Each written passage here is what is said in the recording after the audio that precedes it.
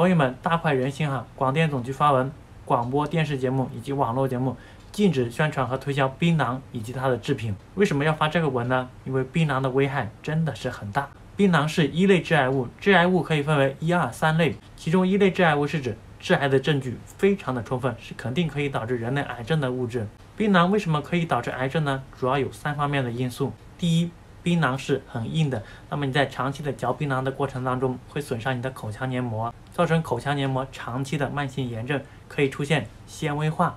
那么这个纤维化就是癌前病变，离口腔癌不远了。第二点，槟榔里面含有槟榔碱，槟榔碱它有细胞毒性，可以造成细胞的损伤，也可以造成癌变。而且的话，槟榔碱就是让你嚼槟榔上瘾的物质，槟榔碱可以兴奋你的神经，让你嚼了槟榔之后产生兴奋的快感。第三，槟榔加烟，法力无边。槟榔和烟草有协同致癌的作用，很多朋友喜欢嚼槟榔，也喜欢抽烟，那么这两个强强联合，会让你患癌的风险更加的高。槟榔是一类致癌物，为什么屡禁不止呢？当然是巨大的经济利益。朋友们知道吗？我们国家每年槟榔的产值是四百个亿，如果有人动了他们的蛋糕，是有危险的。那么有一个口腔医生，长期致力于揭露。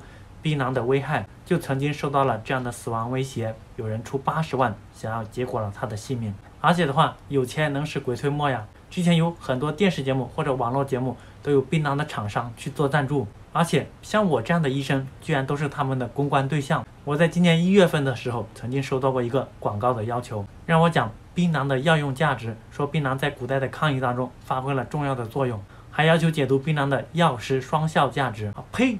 第三点要求就更过分了，还要求说槟榔作为核心药材，在我们中国的抗疫过程中发挥了重要的作用，这不是瞎扯淡吗？我虽然很穷，但是我最基本的职业操守还是有的。像这样的广告，咱们肯定是不能接呀。把这个视频转发给你身边的朋友，让他们以后不要再嚼槟榔了。槟榔、烟、酒这三个常见的致癌物，通通都把它戒掉。希望大家可以了解这样的知识，关注我，关注朴哥的医生，每天进步一点点。